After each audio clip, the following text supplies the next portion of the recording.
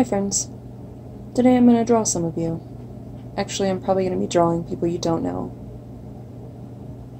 Or people you do know.